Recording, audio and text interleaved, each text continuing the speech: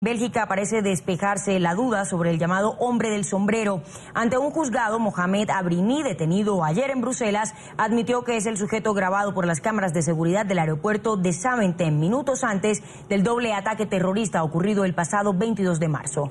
Mientras tanto, Estados Unidos enciende la alerta en Turquía. Funcionarios de la embajada en Estambul aseguran que existen amenazas creíbles contra dos de las ciudades más importantes de este país. La lucha antiterrorista no se detiene. Este sábado presentaron los cargos contra Mohamed Abrini, detenido el viernes en Bruselas.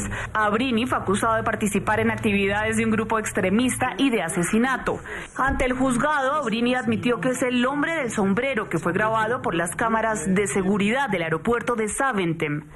En total son seis los sospechosos detenidos en relación con los ataques de París el pasado 13 de noviembre y de Bruselas el 22 de marzo. El juez encargado del caso en Bélgica también imputó por los mismos delitos a Osama Krayem, quien sería el segundo hombre presente en el ataque en la estación de metro de Malbec. Por su parte, las autoridades belgas mantienen las redadas antiterroristas. En las últimas horas, al menos 50 uniformados, entre ellos francotiradores y escuadrones antibombas, se movilizaron en el distrito de Etterbeek y ordenaron evacuar la zona. Mientras tanto, existen amenazas creíbles de ataque a dos ciudades importantes de Turquía. Así lo afirmó el consulado de Estados Unidos en un informe en el que asegura que ha recibido información que pone en alerta tanto a Estambul como a Antalya, específicamente en lugares turísticos.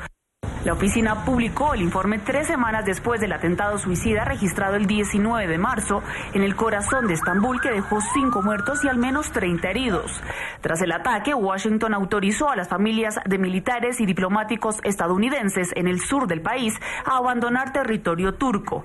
Turquía está en estado de alerta y las medidas de seguridad se han extremado debido a los cuatro atentados suicidas cometidos en lo que va del año en Estambul y Ankara, que han dejado al menos 80 muertos.